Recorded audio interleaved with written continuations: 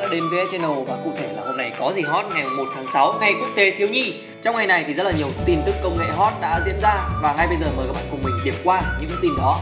Đầu tiên chúng ta sẽ cùng đến với lại một hình ảnh về phiên bản mới của chiếc MacBook Pro đã bị dò dỉ trong ngày hôm nay. Qua bức ảnh này thì chúng ta có thể thấy được sự xuất hiện của bốn cổng USB Type-C, nhiều hơn rất là nhiều con số một cổng của The New MacBook. Tuy nhiên thì bốn cổng này đều là Type-C thì có lẽ là cũng sẽ khá bất tiện trong thời điểm mà hầu hết các loại phụ kiện hiện nay như là USB chuột ổ cứng di động thì đều dùng chuẩn USB Type-A. Xăm soi bức hình thì chúng ta cũng còn biết thêm rằng MacBook Pro mới sẽ loại bỏ hàng phím F1 tới F12. Điều này là hoàn toàn phù hợp với tin đồn trước đó rằng MacBook Pro sẽ có hàng phím function là cảm ứng. Tiếp theo thì sẽ lại là một thiết bị chưa ra mắt nhưng bị can lộ lộ ảnh render cùng với lại cấu hình. Đó là Samsung Gear Fit 2. Chiếc vòng đeo tay sẽ thay thế cho chiếc Gear Fit 1 đã có tuổi đời khá là lâu rồi.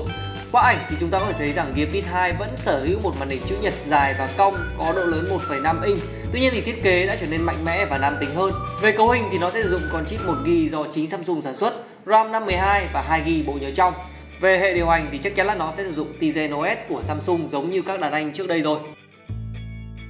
Ngoài dòng Galaxy Note của Samsung ra thì cũng có một dòng điện thoại khác cũng sở hữu bút stylus đó chính là LG G Stylus. Và hôm nay thì phiên bản 2 của chiếc máy này cũng đã ra mắt.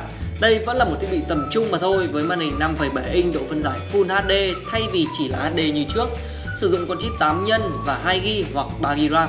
Cây bút trên chiếc máy này thì có vẻ như vẫn không được xịn bằng bút của dòng Note khi mà nhìn nó khá là đơn giản. Điều cao cấp nhất ở trên chiếc máy này thì có lẽ là cảm biến vân tay ở mặt lưng của chiếc máy. Giá của em nó thì khá là rẻ, chỉ có 200 đô ở thị trường Mỹ mà thôi. Tin tức tiếp theo thì sẽ liên quan tới Facebook. Đúng như những gì mà họ đã tuyên bố về chuyện là có thể sẽ mang quảng cáo Facebook sang cả những website khác. Ngày hôm nay thì Facebook đã chính thức mở rộng mạng lưới quảng cáo của họ và giờ đây thì quảng cáo của Facebook có khả năng xuất hiện ở bất cứ website nào, bao phủ toàn bộ internet luôn thay vì chỉ hiện ở trên Facebook như là ở thời điểm hiện tại. Với động thái này của Facebook thì Google cùng với lại hệ thống quảng cáo AdSense của họ sẽ phải thực sự dè chừng khi mà Facebook có lợi thế trong việc hiểu người dùng hơn là Google. Do đó thì họ sẽ có thể đưa tới những quảng cáo chính xác hơn. Cũng liên quan tới chuyện hiểu người dùng của Facebook thì ứng dụng di động Facebook đang bị nghi ngờ là có khả năng nghe lén những cuộc hội thoại hàng ngày của người dùng để phục vụ cho mục đích quảng cáo. Một chuyên gia đã thực hiện một cái thử nghiệm nói về một chủ đề với bạn bè của ông rất là nhiều trong ngày hôm nay và ngày hôm sau thì Facebook của ông đã xuất hiện những quảng cáo đúng với chủ đề mà ông đã nói. Thực tế là mình cũng đã từng có lần cảm giác được rằng Facebook đang theo dõi mình. Khi mà hôm đó mình đi ăn ở một nhà hàng và ngày hôm sau thì thấy rất là nhiều quảng cáo của nhà hàng này ở trên Facebook. Thậm chí là Facebook đã thừa nhận rằng họ có sử dụng microphone của điện thoại để thu âm thanh, qua đó xác định được những gì đang xảy ra xung quanh chiếc điện thoại nhưng họ không hề lưu lại những dữ liệu này. Bạn nào mà không muốn bị Facebook theo dõi, có thể vào setting và tắt cái permission truy cập microphone của Facebook đi.